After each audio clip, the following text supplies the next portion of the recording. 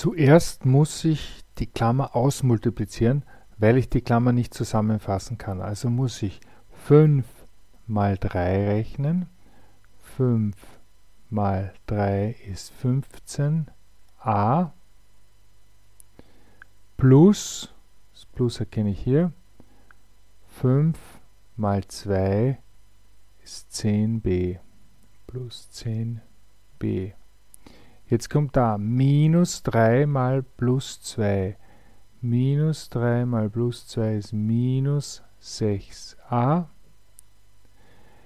Minus 3 mal plus b ist minus 3b. Ist gleich.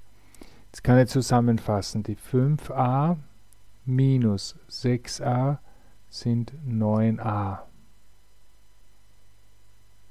Und die 10b minus die 3b sind plus 7b.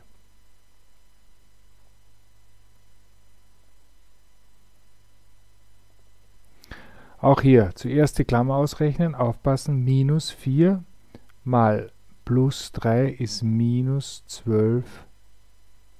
12a. Minus 4 mal minus 4 ist plus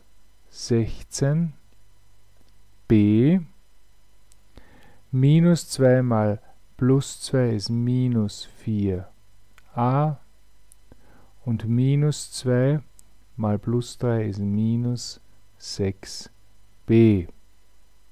Ist gleich ich fasse zusammen, minus 12a minus 4a ist minus 16a.